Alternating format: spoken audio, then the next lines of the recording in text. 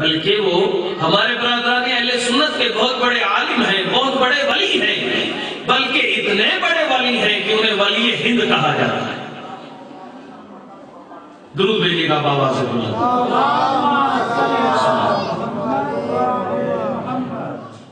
जनाबे मोइनुद्दीन चिश्ती अजमेरी ने जब ये मंजर देखा तो सोच सोच के मजबूर होके कहा असद हुसैन दीन असद हुसैन पूरी आपको आती है। चले आप को महसूस करने के लिए और जनाब मोइनुद्दीन चिश्ती अजमेरी का कलाम पूरा सुनाने के लिए पूरी रुबाई सुना देता हूँ। जनाब मोइनुद्दीन चिश्ती अजमेरी कहते हैं, शाह असद हुसैन बादशाह असद हुसैन दीन असद हुसैन दीन पना असद हुसैन सरदार नदार दस्त दर दस्त यजीद हक्का के बिना इला इला असद हुसैन। तो जनाब अजमेरी ने जनाब हुसैन को कहा, दीन असद हुसैन। ये क्यों कहा उन्होंने और कब कहा? जब हाजे अजमेरी ने देखा कि मस्जिद नबवी है, नमाजी रसूल है, इबादत नमाज़ है और रुकने नमाज़ सजदा है। और इस आलम में सैदा का लाल हुसैन पुश्त नबी पे सवार है। अब हाजे अजमेरी ने सोचा होगा कि शायद नबी हुसैन को पुष्ट से उतार दें। क्योंकि नमाज़ दीन का जुज है। नमाज़ दीन का जुज है। लेकिन जब हाजे अजमेरी ने देखा कि नबियों के नबी ने नमाज़ को लंबा किया है, हुसैन को उतारा नहीं तो फिर उन्हें समझ आ गई कि अगर नमाज़ दीन का जुज है तो दीन अस्त हुसैन हुसैन दीन है। तो मेरे दोस्तों, बुजुर्गवारों, मैं अक्सर ये जुमला कहा करता हूँ कि हाज अजमेरी ने जैसे ही जनाब हुसैन को दीन कहा ना, मैं परेशान हो गया। मैं परेशान हो गया, इसलिए नहीं परेशान हुआ कि मेरे मौला को दीन क्यों कहा? बल्कि मैं परेशान इसलिए हुआ कि जिस बाप का बेटा दीन हो, जिस बाप का बेटा दीन हो, उस बेटे का बाप कितना अजीम होगा? इसी परेशानी के आलम में मैं बारगाह नबूवत में हाजिर हुआ। मैंने दस्त दस्ताज की, या रसूल अल्लाह हाजा अजमेरी ने परेशान कर दिया हमें बेटे को दीन कह के तो जिस बाप का बेटा दीन हो उस बेटे का बाप कितना अजीम होगा तो आवाज़ रिसालत आती है तेरी कुताही इल्म पे मैं क्या करूँ? अगर अजमेरी ने बेटे को दीन कहा है तो मैंने 1400 साल पहले बाप का तारुफ करवा दिया हुआ है मैंने बता दिया था जंगे हंदक में कि बारजल ईमान कुल्लहू इलल कुफर कुल्ले के आज कुल्ले कुफर के मुकाबले में कुल्ले ईमान जा रहा है नाराए हैदरी अगर बेटा कुल्ले दीन है तो बाप कुल्ले ईमान है। तो मेरे शिया सुनी, दोस्तों, बुजुर्गवारों, मैं अक्सर कहा करता हूँ कि हाजा अजमेरी ने बेटे को दीन कहते और नबियों के नबी ने बाप को कुल्ले ईमान कह के मुसलमानों को मजबूर कर दिया है।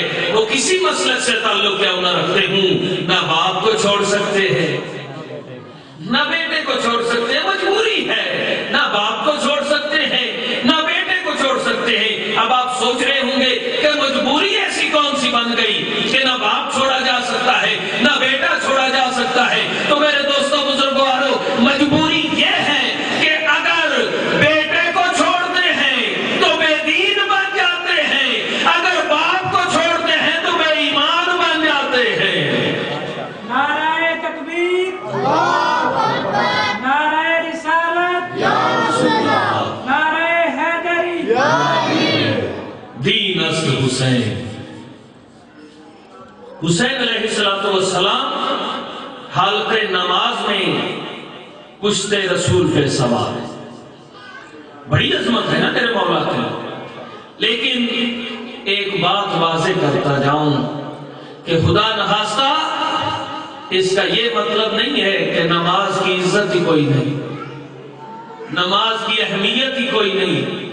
मेरे दोस्तों बुज़ुर्गों ना, हुसैन अलैहिस्सलाम की अजमत है इमाम होते हुए। और नमाज़ अपनी जगह पे, अपने मुकाम रखती है। मेरे दोस्तों बुज़ुर्गों ये गलत नज़रिया है कि जब हुसैन ज़िंदगी में आ जाए तो फिर नमाजों की ज़रूरत ही कोई नहीं। खुदा नहासा ये हमारा मकतब तशैयो का ऐसा कोई अकीदा नहीं है, ऐसा कोई नज़रिया नहीं है, बल्कि हमारा तो एतकाद है, हमारा तो अकीदा है कि एक मरतबा ही सही। ज़िंदगी रसूल में नमाज़ और हुसैन इकट्ठे हुए।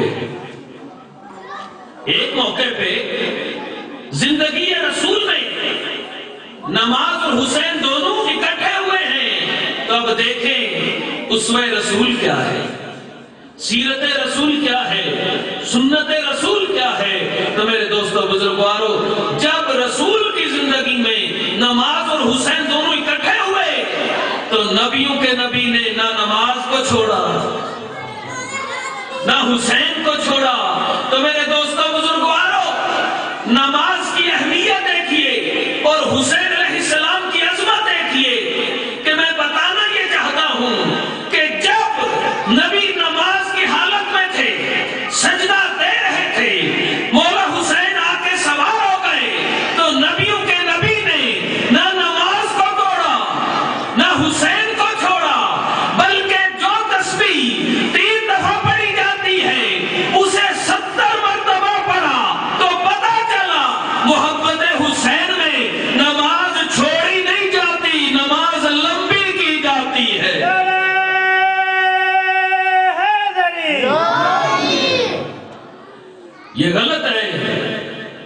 कि हुसैन का मानने वाला भी हो और बेनमाजी हो। मेरे दोस्तों बुज़ुर्ग नहीं! इसी रिवायत से एक दो नतीजा और अर्ज़ करना चाहता हूँ कि जहाँ हुसैन वहाँ नमाज़, हुसैन और नमाज़ इकट्ठे हुए हैं ना तो इस रिवायत का मतलब ये नहीं है कि नौज बिल्ला नमाज़ की तोहीन की जाए। ना मेरे दोस्तों बुज़ुर्गों बल्कि इस रिवायत का तो नतीजा ये है, नबियों के नबी बताना ये चाहते हैं, जहाँ नमाज़ होगी, वहाँ हुसैन होगा, और जहाँ हुसैन होगा, वहाँ नमाज़ होगी। द्रुज भेजिएगा जाते हुसैन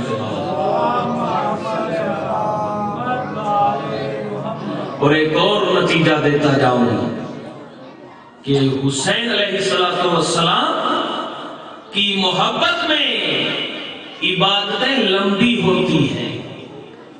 इबादतें छोटी नहीं होती।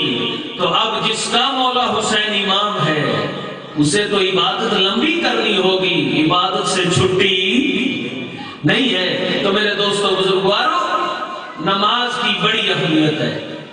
नमाज़, ये बाजुकात कह दिया जाता है कि नमाज़ फ्रूए दीन है। और मेरा मौला हुसैन उसूल दीन है। हकीकत है, ये बात हक है। और तस्लीम शुदा बात है कि वाकया नमाज़ फ्रू दीन में है। और इमामत जो है वो उसूल दीन में है। लेकिन अगर नाराज़